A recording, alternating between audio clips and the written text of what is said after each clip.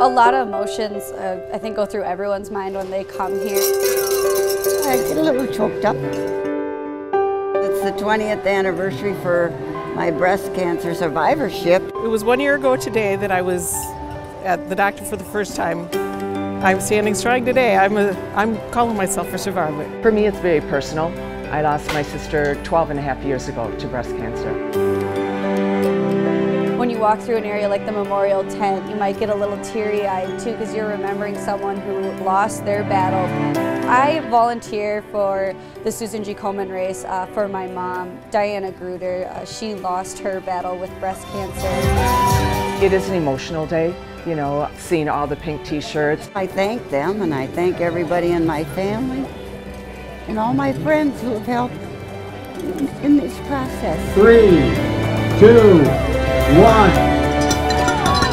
Let's Whether go! it's your sister, your mom, or a friend that you've lost, everybody is connected. We need to get a cure for breast cancer. So it's really an important cause. Oh yeah. Race for the Cure, the oh. title says it all.